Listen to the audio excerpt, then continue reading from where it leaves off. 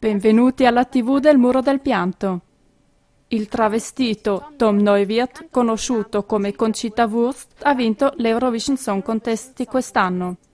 Persino i media hanno chiamato mediocre la sua canzone e la sua voce. Il criterio non era solo lo spettacolo musicale, ma soprattutto la politica. Già nella prima intervista Concita ha mandato al macio del Cremlino, Putin, dei saluti d'amore nel nome della comunità globale degli omosessuali e delle lesbiche. Siamo irrefrenabili. Con ciò l'Eurovision Song Contest stesso si è smascherato come concorrenza sleale, in quanto le sue condizioni di partecipazione dettano che nessuna canzone o comparsa possa contenere un messaggio politico. Pare che si sia manipolato miratamente per rendere l'ideologia gender presentabile al popolo col pretesto dell'arte.